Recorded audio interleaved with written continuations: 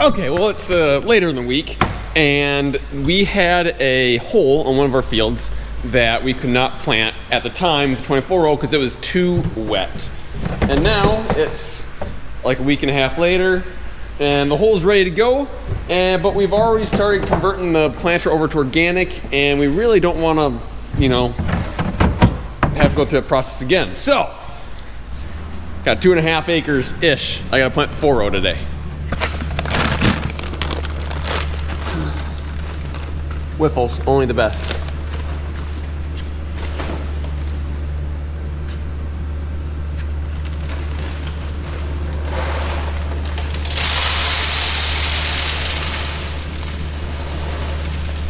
I'm just using some leftover corn, so we do have a little bit of leftover Pioneer that we used on one of our trials.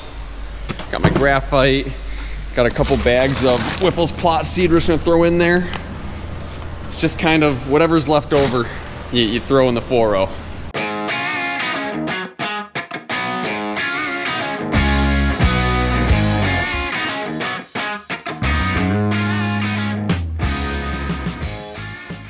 here we are. I basically got this low area right here. Uh, this is one of those areas that if there's a chance of rain, there's probably water sitting in it. It doesn't even need to rain. Obviously that's a joke, but it gets very wet. But it's actually dry right now, so I gotta do 120 foot of end rows on this side and that side, and then fill it in with a four row. I plan to make it look good, but we'll see. First things first, I need to up the population a little bit. I'm currently planting a 28, which is a little bit light. So I just gotta switch some gears around here. I gotta figure out which one it is, and then I'll start planting. So I haven't actually checked how this planter has planted in like the last four years because I just go out there and plant and it's a 7000 so it does a beautiful job anyways. But I, I should maybe actually dig one to see how my depth is. It is extremely sticky underneath yet, but that's okay. Anyways, there's my little corn plant right there and I need two hands to do this, but if I do my little shovel test, I am right about at two inches. So that is, that's good for what I'm doing, especially for the fact that this corn, there's a, if it rains, it's not gonna be here anyways. This spot will, but that won't. I remember the days All those years ago that never fade away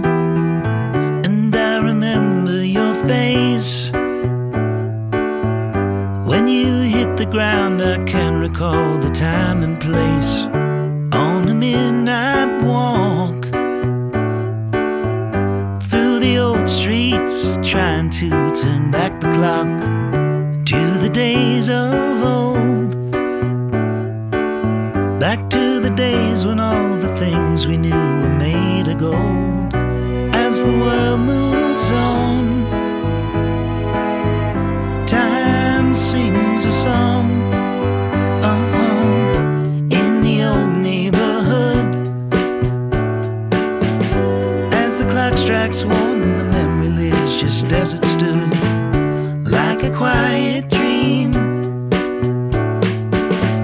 shadows of that time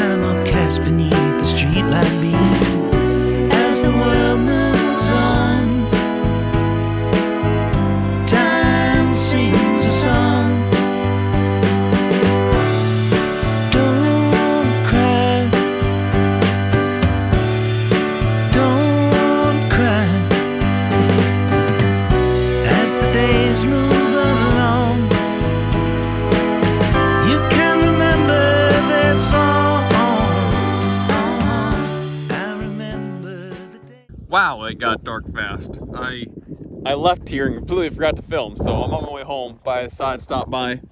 Look at how good this looks, even for four row planter. That, that's a little wide. But looks pretty dang good. Uh, there ended up being three and a half acres according to my computer track monitor that I planted here. Because I planted from here all the way to about 60 foot away from the headlands and I did 120 foot of headlands here. So, quite a bit of planting for the old girl. But it handled it great, and uh, I think it's gonna look really good. I'm always amazed. I dug up a little bit of seed after I um, got done filming, and the spacing on that 7000 at three and a half miles per hour is better than the ExactEmerge. I mean, I, I was planting about 34 8 uh, for population, and each seed was like exactly six inches apart, which uh,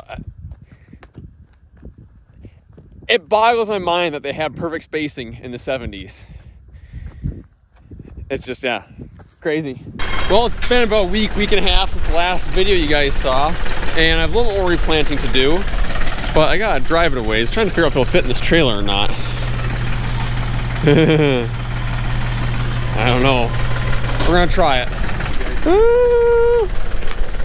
Well, if we get the ramps to fit between the rows, this might actually work. Let's see if we can get this.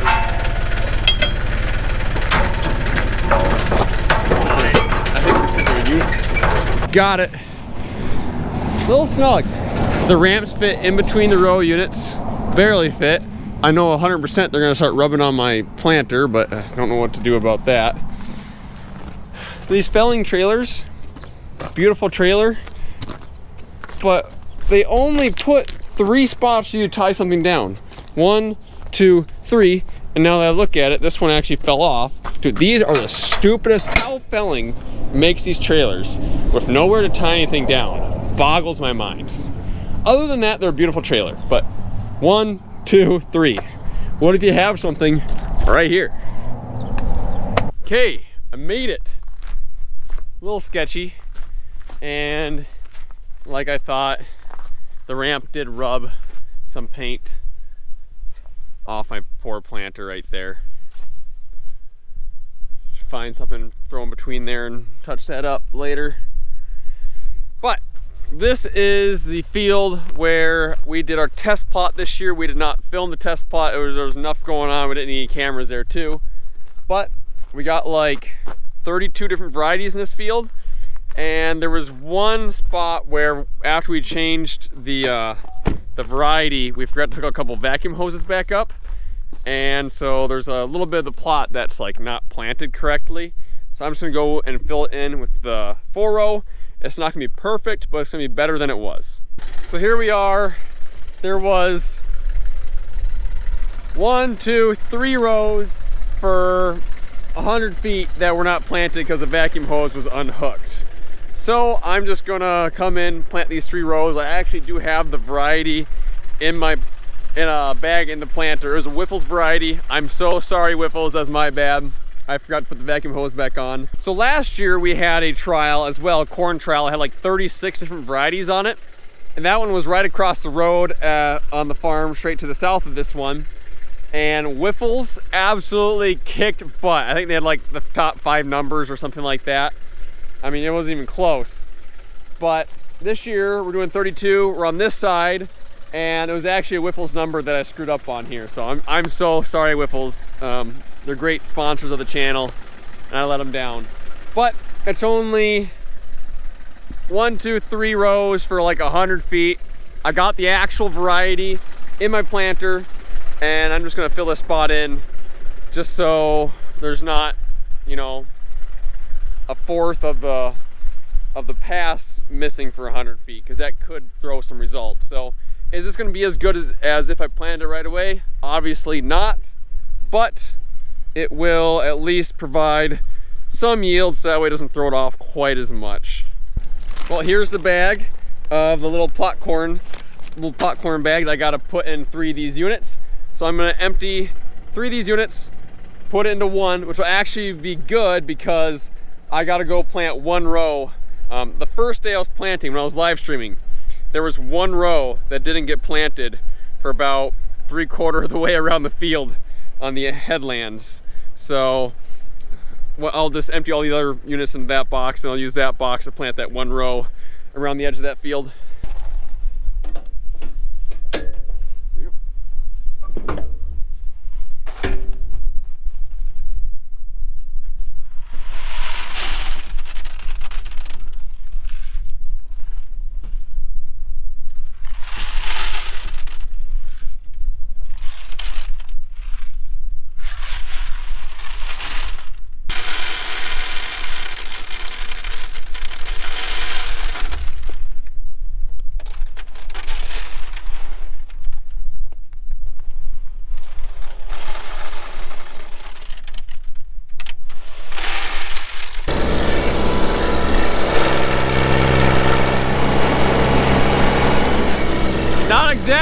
Speed demon by any means.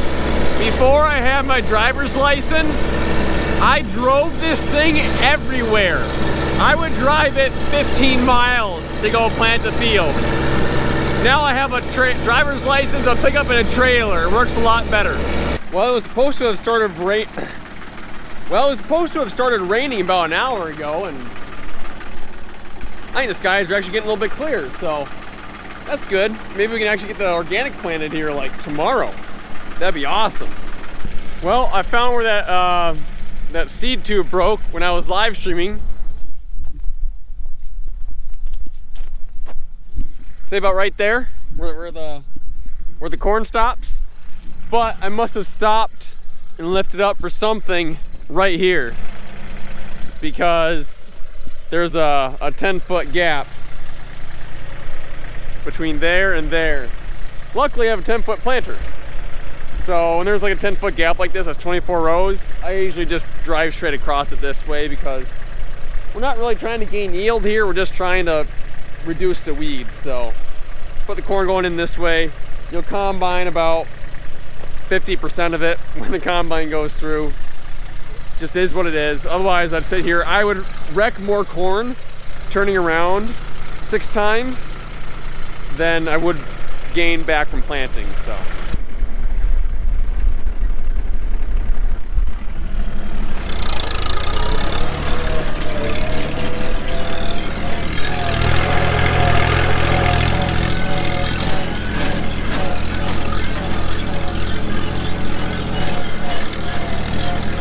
not the smoothest riding thing. What's pretty cool is you had individual section control back in 1974 or whatever year it was too. It just happens to be manual. Yeah, it only took 20 seconds to turn three rows off.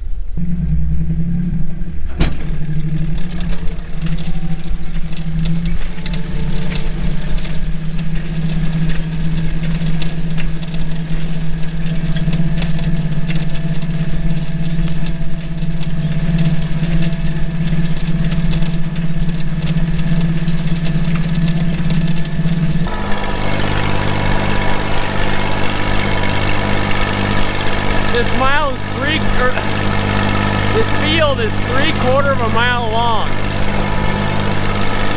Long boy. I can't even see the end yet. At 3.5 miles per hour, it takes a little bit.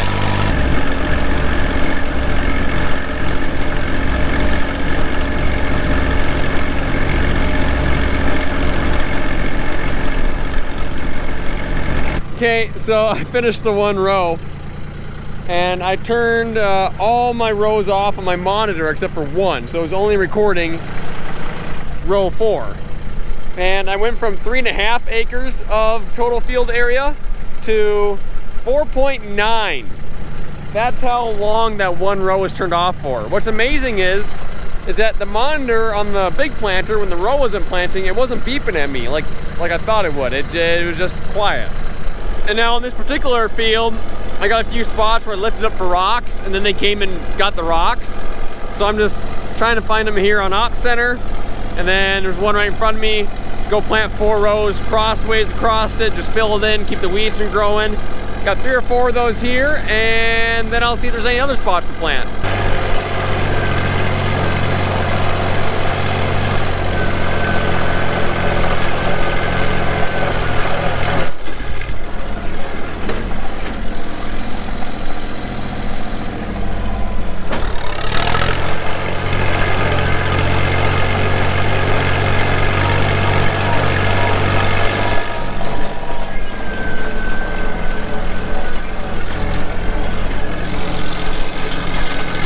And uh, here we got a rock, the rock picker mixed, mixed, missed.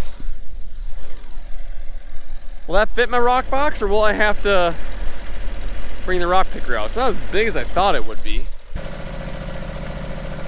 When you lift, you want to make sure you do it in like a, with your back and then a twisting and jerking motion. That, that's preferred. That works. If high school self could see could see this right now, he'd be pretty proud. I made this rock box in my high school welding class. Okay. got it.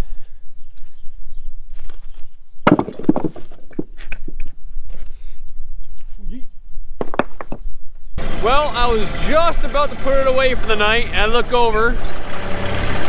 We had some spots that kind of washed out here, so I'm just gonna hit these up quick. This is a little bit more tricky because some corn's still alive and some's not, so you just kind of plant through it all.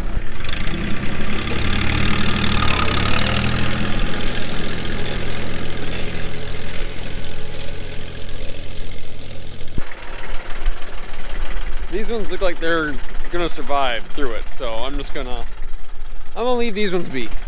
I think I think they'll push through. Well, there we go. I am at five acres for the year with the 4.0.